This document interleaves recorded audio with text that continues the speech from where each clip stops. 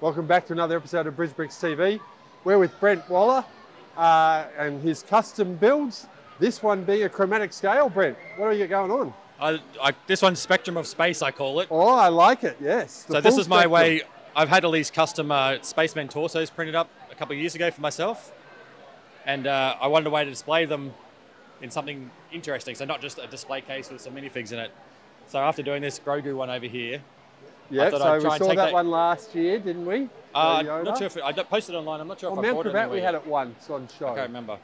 Yep. But after doing that one, I thought, oh, what I'll do sort of greebly rainbow spectrum of all the spacemen, and have, each strip uh, has a spaceman associated, except for one because the printing didn't get done.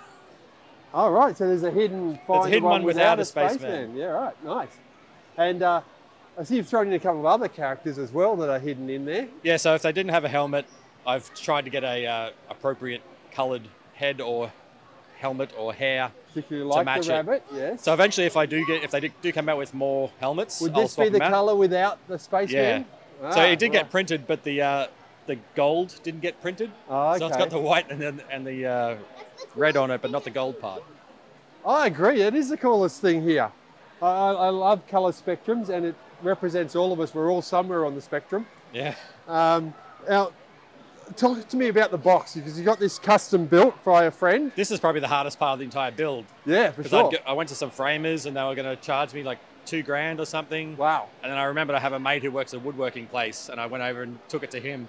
He's like, oh, I could do it for 50 bucks because I know you, it's just cover the costs. You just go and buy the uh, the acrylic cover Brick for it, separator.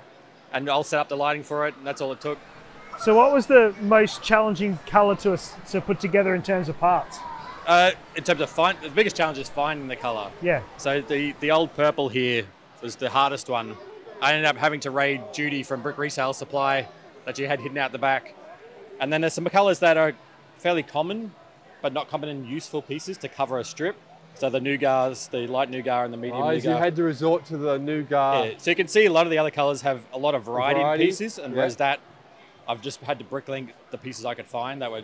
I s- still went for fairly cheap parts for it, but um. So is it there all out. is there any color that you're a new color from Lego that you're looking forward to coming out for to adding to the Spaceman collection? Well, this I've got spacemen that I couldn't fit in here because there wasn't enough color to fit it, or Right. I've got some custom chrome ones I did for myself years ago as well. Oh, and yes, I recall I'm those. not going to do a strip of chrome for every color. No, so yeah. Yeah, I think we talked about that and, and ha- just how insanely expensive it So would how be. many strips of colours have we got? I can't even remember. You'd have to count them. Oh, here we go. And then we've got like the the pearl light pearl grey. Oh, sorry, light pearl gold. Yes. Is That's, that C3PO? that's pretty much the only parts that came in that color. So Yep. I've just kind of put that between two colors. Yeah, no, I've had to raid some pearl gold for my stuff, so And there's a light pearl grey. I think I've got one I haven't put anywhere, and a old grey. Both of the old greys. I got 44. 44? That's probably about right. It should be an even number. so. And speaking of Greebling, talk to us about uh, Grogu here. Uh, this is. I wanted to make something to hang in the house, so this was my first attempt at something like this. So I asked my son, who's sitting there behind his headphones, if he wants a picture for his his uh, bedroom for his birthday, and he picked Grogu. Well, it was, he didn't have a name back then; it was Baby Yeah, Yoda back Baby then. Yoda, yeah. So this is what I came up with. And you can tell after doing this one, that one I needed a glass case on the front of it, a plastic to keep the dust off because it gets Yeah. so dusty. Dusting is particularly with Lego art is the big thing. That the new Lego art that comes out with just the dots, Yep. yeah, trying to get the dust out of it is just insane. And you still have the hidden characters in here, right? Yeah. So there's a Mandalorian and a Grogu hidden in there somewhere. Yeah, so Mando's hanging upside down with Oh, don't t- don't tell me so. I'll come back and look later. Oh, okay. Yeah. We won't tell you. A Grogu's hidden somewhere in there. Okay. But you can see that there's a less uh, variety in pieces on this one. So I think if I was to do one of these again, Yep. I'd take a more an approach I did for the Spectrum of Space one, where there's a lot more variety in parts and there's animals. And I was actually tempted to raid one of the re- retailers here at the show and grab a Darth Vader or something and hide it in the dark bits. Yeah. Uh, You can fill it full of Star Yeah, Wars I characters. get a now. stormtrooper in the white bits. It's Yeah. a whole new finder fig. Yeah. And to finish off your display, you've got a little bit of your uh, Ghostbusters and Yeah, these are based on the are they maxi figs or mega Yeah. figs? I can't remember what they're called. The Harry Potter and yeah, Hermione the, the new Mega. yeah, right. I'm calling them Mega Figs because Maxi Figs is a different thing Right. that they build. So yeah. So this is a mega. All right, so you can obviously with see Harry Potter's face used on Egon there, Yeah. and uh, Stay Puft I've had done for a while. I remember you building that and trying to get the uh, the the navy thing right, and Yeah. yeah, So that's I like. I think I prefer the Stay Puft because he kind of works in scale with a regular minifig. Yes. If you're just stick him in a city or something, you can chuck him in there. And I really want to do this guy. And he's got. You probably just swinging around the back there. I've done all the detailing on the Well, proton he pack was on the your back. character that you used to dress up as when you did cosplay stuff, wasn't Well, he? he was the closest I looked like because I've got glasses so and you just the hair. you got lumped with him. we, we need to get from you the Stay Puft, but with the angry face, so you can have the four Ghostbusters shooting the proton Yeah. packs at him. from the top of the building.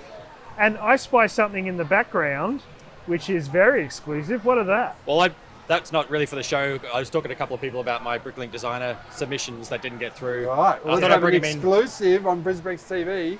Both of these were submitted on the design program for Lego Ideas. Yeah, and both of them rejected. But you have had three successes on that, is that right? No, no, no. I've had.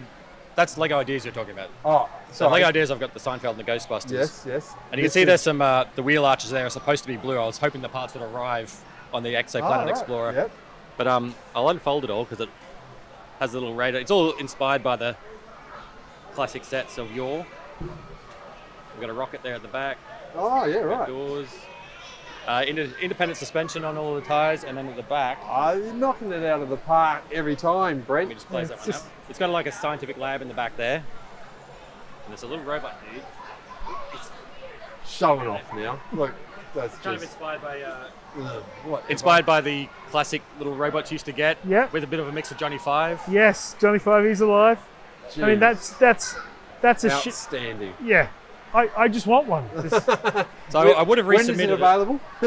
Well, actually, the instructions for the Exoplanet one are available because Yep. you're allowed to submit twice to Bricklink Designer Program, yep. but they give you a palette of what parts you have to work with, so Yes. parts that are only in production. And the canopy is no longer in production in the latest series, so I can't resubmit that one. right. And that one's already been submitted twice and rejected, so I think the key is to also make a Blacktron version of that. that would be pretty cool. It'd probably Yeah. be cheaper too. Yeah. Uh, and a lot of people have been inspired by your arcade because there's been many submissions of arcades. yeah, there has been. Yeah. Well, mine wasn't the first, and it's probably not going to be the last, but Right. Uh, I probably will do instructions for this one at some point too. It's just a bigger project. That's like 2,000 something pieces. and it's got a fully functional interior and everything like that. It so- does, but not this one. Not this was- one, yeah. so what it- you'd have to build it digitally, and then I would. You have to do like step by step instructions. So I'd Yeah. follow my own instructions to make sure it's all buildable and works.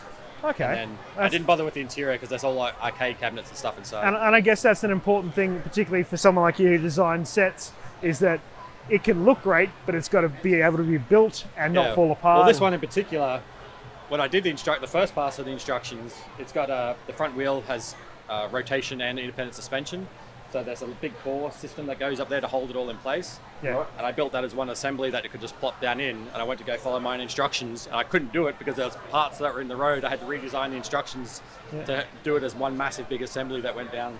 Sometimes digital designer can uh, fudge that collision thing, and you, Yeah, you end yeah. up not being able to make it. So Well, thanks very much for the behind the scenes tour, That's the all right. current scenes tour, and we look forward to the future scenes. Yeah. You continually astound us with your abilities, Brent. Uh, Yeah. Thanks. Great to have you as part of the club and on Brisbricks TV. All right, thanks. Out.